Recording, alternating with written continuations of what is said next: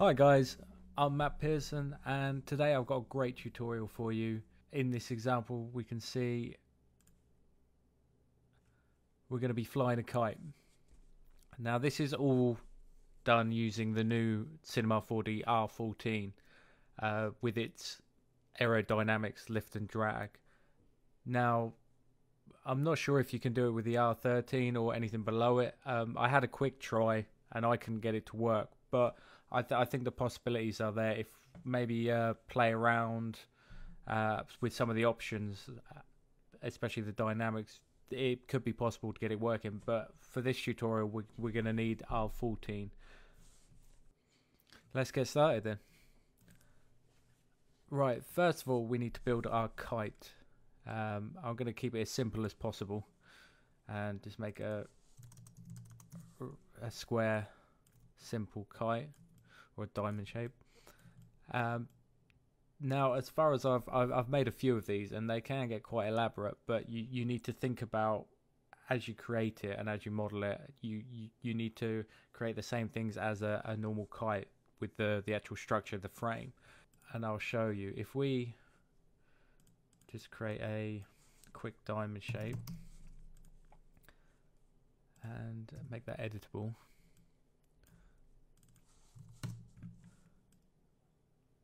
And let's move one of the, the bottom vertex down. There we go, there's our basic kite shape. Now what we're going to need is to make a frame, uh, a cross frame uh, coming down and across. Now since this is uh, this plane is going to be cloth, we need to attach the frame to the cloth.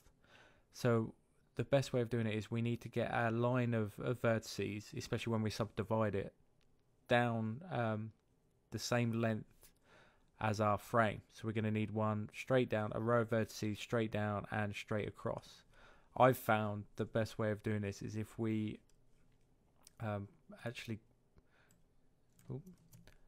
if we make lines where we're going to have our uh, frame to begin with. So if we click those two vertices and create points, that's going to be one line where our frame is.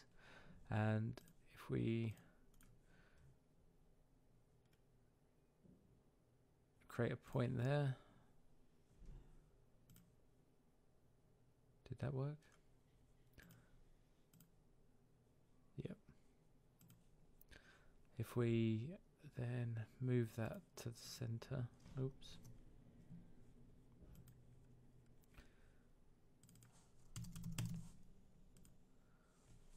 And then we're going to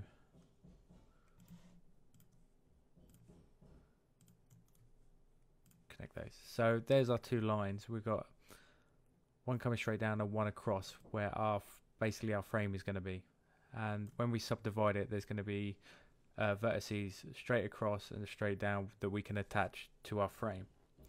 Obviously, if you've got uh, a, a kite, completely different shapes, uh, you need to think about where you're going to put the frame, where it needs to attach to the cloth uh, when the cloth's moved. Usually, if you think of a real kite and how they've actually put the frame, it's it it'll probably work. That's pretty much what I've done. It is so far it's worked quite well. So let's start making the frame let's just name that kite cloth. Or actually, let's subdivide it third first. If we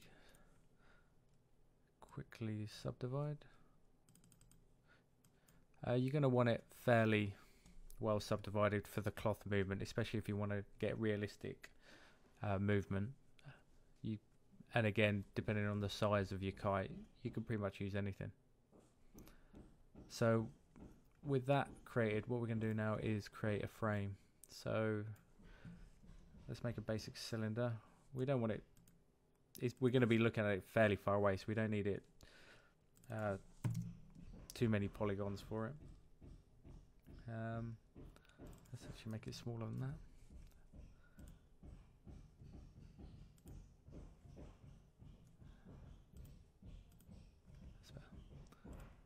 Move it down. Oh, there go. It's perfect. and let's make another one. Just copy and paste that. And there we go. If we come into the top view, we can line that up properly.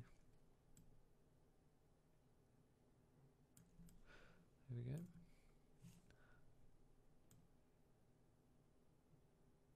There you go. That's that's pretty much as simple as you're going to get. Let's uh, make those editable. Uh, you want to make sure the frame is just one object. So if you all the cylinders you've created, if you you could have created some more frame around the edge, um, or whatever your shape is, you need to then make it into one object. So connect objects and delete, and then we're going to rename that kite frame. Let's put them in a null. Make things easier. And then with these, what we're going to do is attach the frame to the actual cloth. So let's make that a cloth first. Putting on a cloth tag. And we're also going to add a belt tag.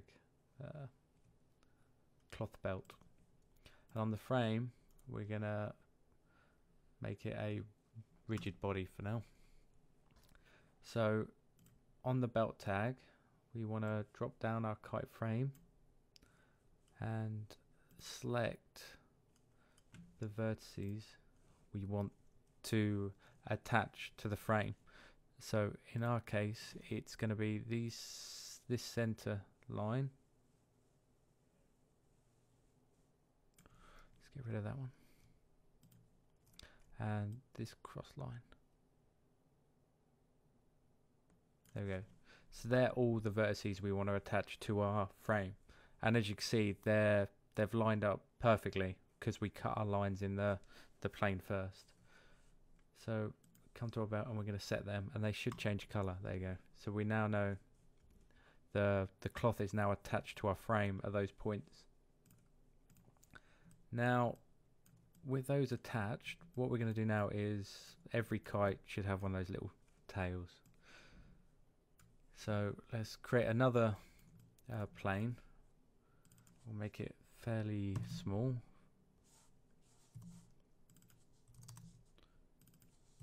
There you go. So it's not very wide, but long.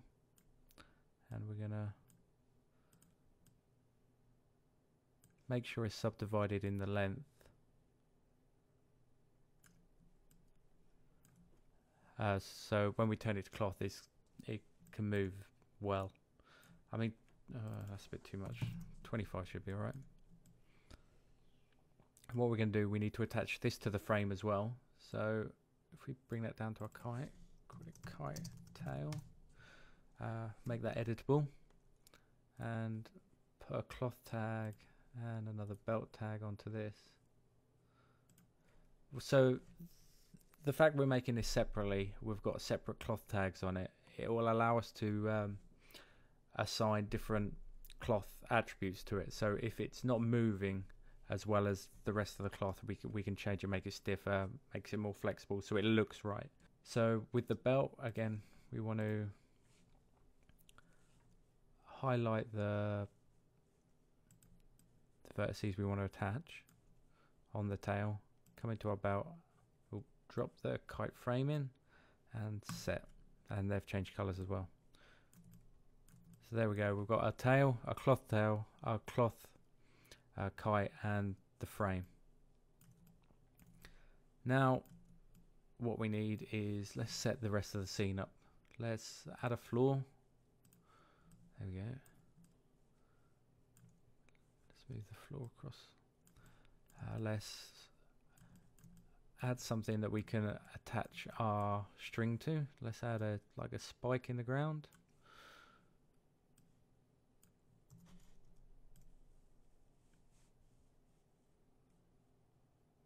Make it a bit smaller.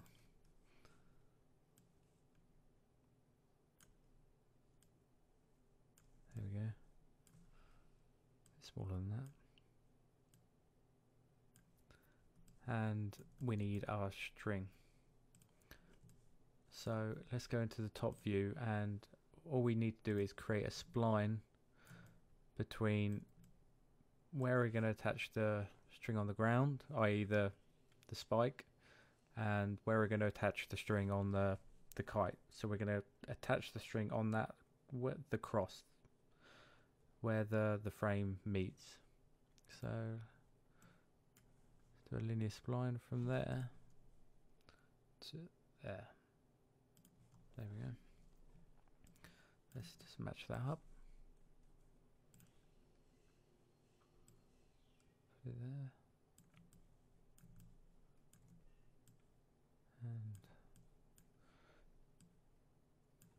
what's happened to that cone. If I rotate it a bit.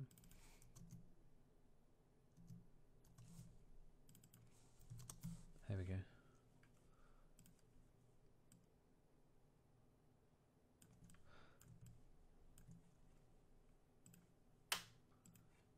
So since this uh, the rope it, it, needs to bend slightly we're going to subdivide it so it's again like the tail got some uh, subdivisions to bend on. Uh, so if we select the vertices right click and under subdivide let's make it about 10 so we've now got uh, places where it can actually bend. And on that we're going to put a hair tag spline dynamics. And then we're going to add two more tags under hair and two constraints. And another constraint. And these constraints are going to constrain the the string the, the spline. One end to the peg and the other end to our kite. So in the first constraint we're going to drop our uh, let's make our cone editable first. And let's call that spike. We're going to drop our spike into the object on the spline we're going to highlight the vertices that we want to attach. And like the belt we're just going to click set. And if you can see that let's just change color again. And then the other side on our other constraint is going to go to the kite frame. So that comes down into object.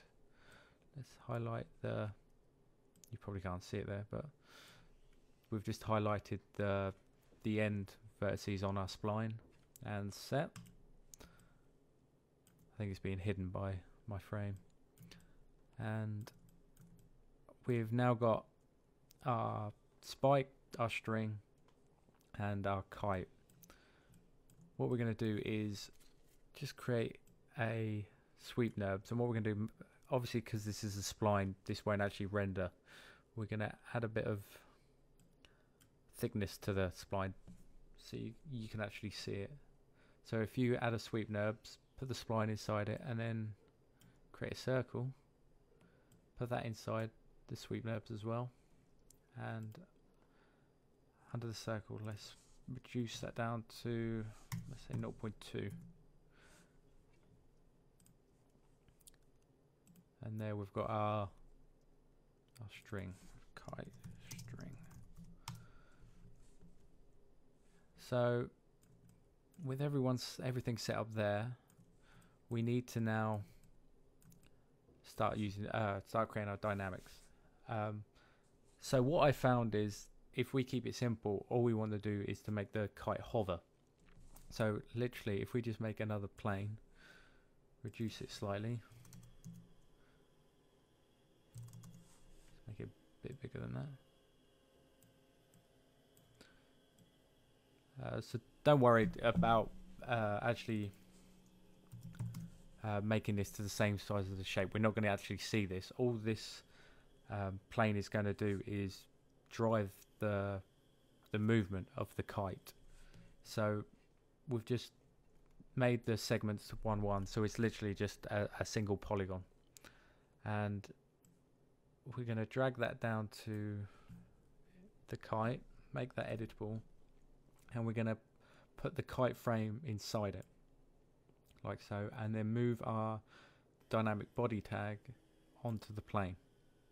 Okay, and in that we this is where we start playing with the aerodynamics. We're gonna start playing with say five percent drag and let's say fifty percent lift. And you need to tick the two-sided. Yeah, that's pretty much everything. Now what we need to do is create some wind. So if we come simulate uh, in particles and then wind. Let's move it over so we can see it. And I'm going to rotate it so it's pointing directly up. There you go, you can see the little arrow on top. And in the wind, first thing we want to do is change the mode to aerodynamic wind. I've, I've played around with them all slightly and that seems to create the best movements. You again just play around and see which one is best for your animation. And what we want to do is under fall off, create sphere. If we pull back a bit, if we increase the sphere, so this yellow line is where your kite's going to end up roughly hovering because uh, that'll be the end uh, of the, the wind's influence. And if we increase the fall off, the red mark will be so th the kite is going to hover between those two lines, the yellow and the red. Uh, again, very roughly, but you can use it as a guide. And what we're going to do is, because that's very round, we're going to increase the width and not height and length. So it's very flat. And again that will help the kind of the kite uh, hover rather than slipping off the sides. So let's try that. No let's on the floor create uh, a cloth collider and let's put a collider body as well so our kite doesn't fall through and what we might need to do is increase the wind speed slightly. Let's try 50. Oh, there you go. We've got some movement. Maybe that wind speed was a bit too much. So we've got our kite flying. Let's reduce that down to about 15 and increase our timeline. What we're also going to do is our plane is going to I guess you can't see it and make our frame viewable. So here we go. You can see it's very static at the moment, but the wind is hitting it.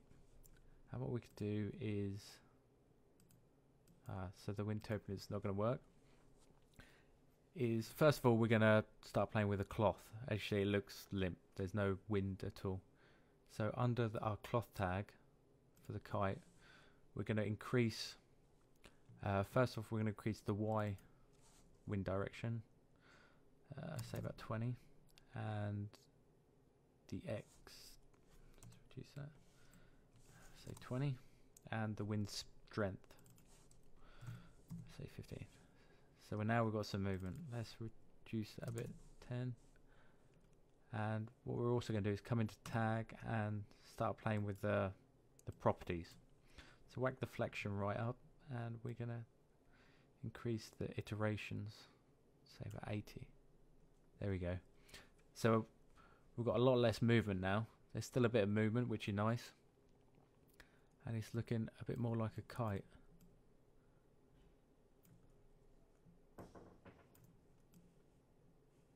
There we go. For now, that'll be alright. Obviously, this is why we created our kite tail separately. So what we can do is come into that, whack our flexion up, under forces, uh, X. So we're going to put 20 in X, say 20. Oh, that's looking good. Let's reduce that a bit.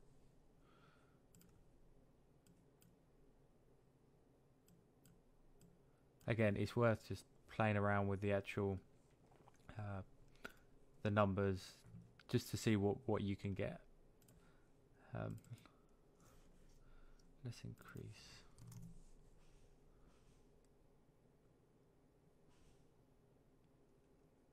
Maybe even more. There you go. Maybe drop that down a bit. So there we go. We've got our kite with a bit of tail movement. That's that's getting a bit too much. There we go. Um, our kite is now flying. We've got some cloth movement, but it's still now static in the air. It's not moving at all. Um, and what we're going to do with that is come under simulate particles and create some turbulence. So what I took me a while to find out is when you increase or change any turbulence information, you need to actually restart the animation. Otherwise, it, you just won't see it. That infuriated me for a while. And what we're going to do, increase the scale. And increase the strength. Change that to aerodynamics.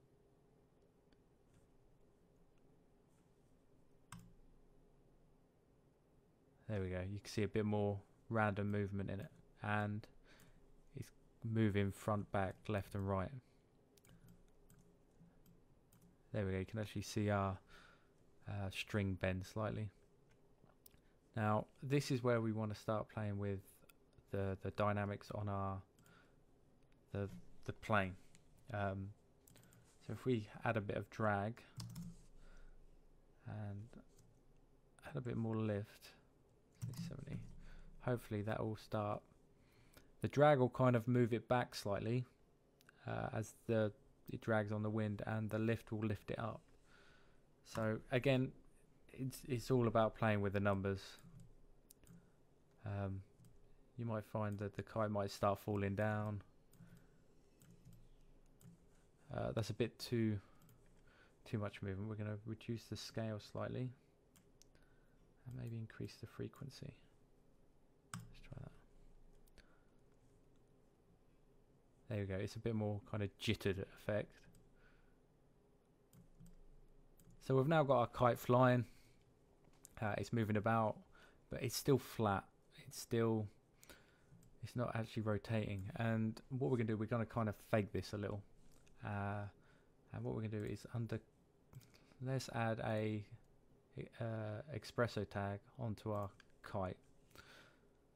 And the way we're going to do this is by creating a kind of wiggle. If if you know expressions on After Effects, there's a, a wiggle expression and it randomly kind of moves um, the, the layer in a wiggle motion and we're going to kind of recreate that. Um, first of all, in our uh, we're going to look for a noise node. There you go. We're going to pull that out. And let's grab a result. And what you might be able to see is if we put the noise in the result,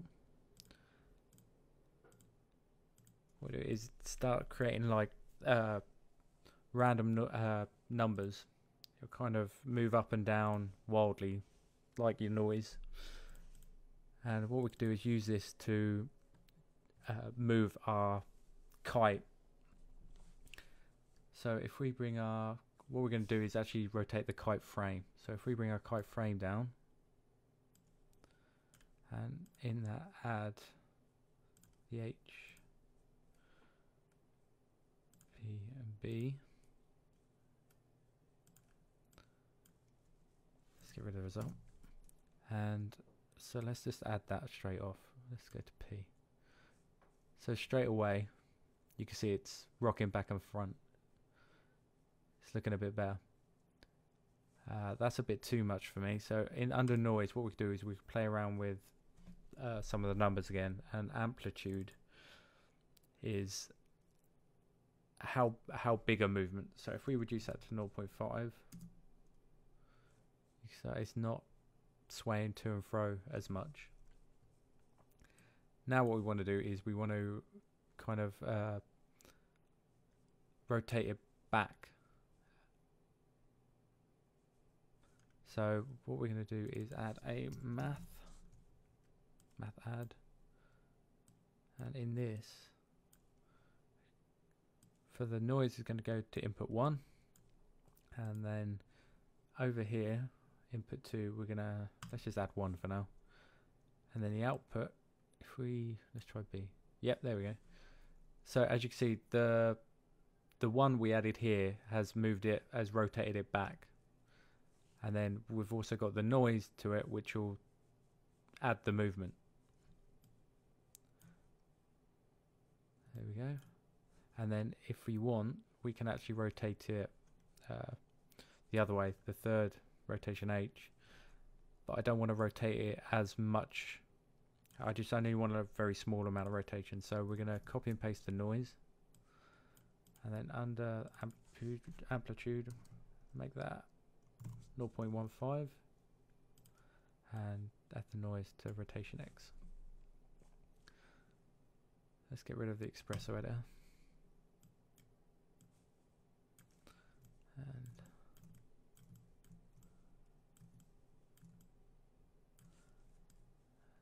and that is pretty much how we how we fly a kite.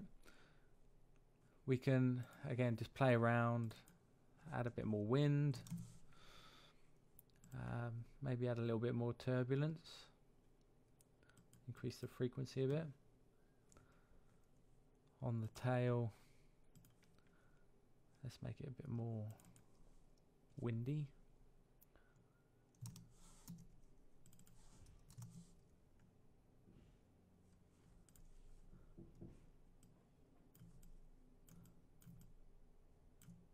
And there we've got it.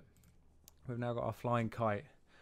Um, I hope you find this tutorial useful. Um, I'd love to see what kind of kites you can come up with, if you can come up with anything else. Do leave comments on my website. Um, check out my website if you're watching this on Vimeo. Um, it's matt-pearson.net. Um, I've got other tutorials on there, some quick tips, some free stuff you can download, a couple of studios, um, leave some comments. I'd love to see your work, what you do with this. Um, sign up for my newsletter uh, in any of the pages. Just scroll down to the bottom. Uh, put your name and email. We won't spam you at all. Literally, this is only going to be updating you when we've got new products, uh, new tutorials out. And uh, have a great day. Uh, again, I hope you find this useful. Thanks a lot. Cheers.